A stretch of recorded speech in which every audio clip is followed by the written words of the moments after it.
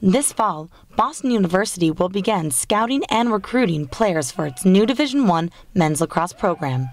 It took them long enough. Uh, there's been rumors about it for a while now, and um, it's just making the school look a lot better. We got D1 hockey, so why not bring lacrosse into the picture?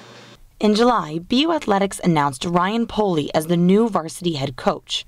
Polley has promised that all players on the men's club team will have the chance to try out. I suspect the varsity program will take I don't want to speculate, but they'll, they'll take a, a, solid core of guys um, to, to, join with their recruits. And, uh, and so everyone on this team really has an opportunity. While the Division One team will open new doors to the BU athletic community, it will inevitably shut some doors as well.